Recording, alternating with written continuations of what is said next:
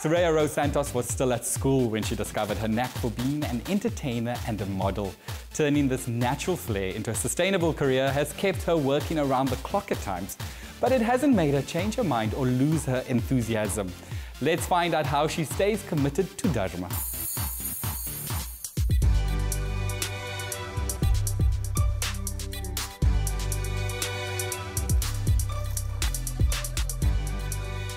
It's not the first time this lovely lady and I have shared some screen time. We've just shot a movie together. I think she's all sorts of wonderful and I can't wait for you to meet her. Sue, welcome to Mela. Thank you so much for having me. You look amazing as always. Thanks, I just finished a photo shoot and I'm actually late for a fitting. Can I come join you? Of course, let's go. Suraya Rose began her acting career by bagging the female lead in a high school play and first hit the screen in a local drama titled Ayeye. She then took the supporting lead in the indie production Free State and now has a number of features and TV series on her list of credits. So basically, yeah. Okay, Sue, so I'm going to get right into it. Tell me a bit about your childhood. Where did you grow up? What was your childhood like? I actually grew up in Laudium, which is very hard to believe for some people because of my accents. But my mom is Portuguese and my dad is Indian, so I grew up in a very diverse family. And I guess that was my childhood.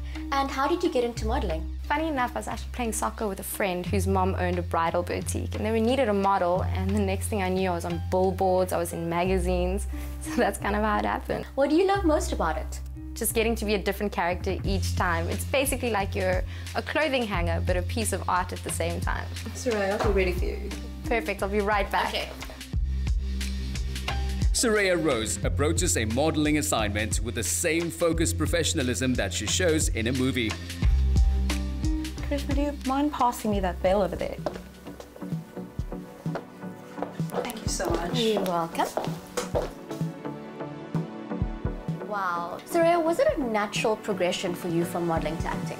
Actually, yes. And usually people always have this misperception that if you go from modeling into acting, clearly your modeling life is not going well, where it's complete opposite.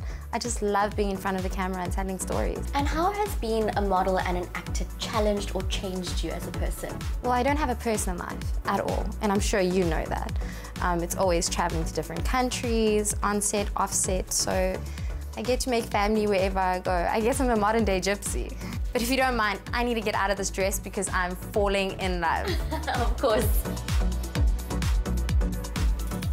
Wow, look at you, you gorgeous thing. Come over here.